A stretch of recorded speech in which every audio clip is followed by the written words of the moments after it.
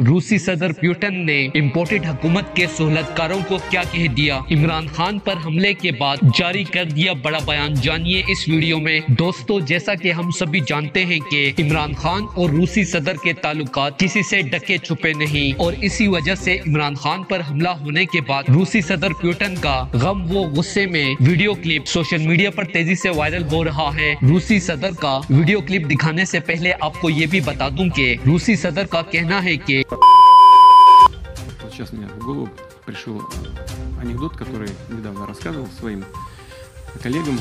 А Мне один приятель из Германии его рассказал недавно. Семья. Папа спрашивает у... э, сын спрашивает у папы. Папа, почему так холодно? Он говорит, потому что Россия напала на Украину. Ребенок спрашивает, а мы здесь при? А мы ввели санкции против русских. Зачем? Чтобы им было плохо.